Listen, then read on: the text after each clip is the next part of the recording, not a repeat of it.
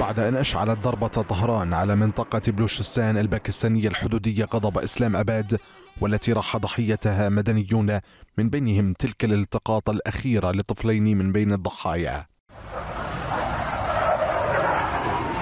جاء الرد الباكستاني بالصواريخ على مناطق في بلوشستان الإيرانية مدويا بانفجارات جنوب شرق إيران. حرب الفعل ورد الفعل التي وصفها خبراء بالمواجهة البالستية صعقت أوساط الخبراء العسكريين في المنطقة من حيث المقارنة بين القوتين الإيرانية والباكستانية ومن حيث الجرأة التي كشفتها مشاهد طائرة باكستان في أجواء إيران.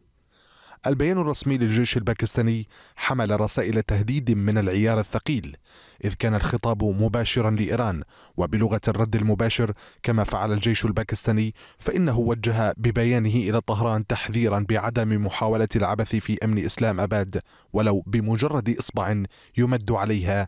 فستقطعه. ولو كانت الإشارة على ضربات جوية وصاروخية إلا أن تمدد العمليات الإيرانية ضد العراق وباكستان أدرجته تركيا إلى مرتبة القلق من التصعيد الأمني الذي يشنه الحرس الثوري دون قراءة المشهد في المدى القريب أو البعيد بما يفتح بوابة عنف إقليمية تبدد جهود الاستقرار واحترام سيادة الدول.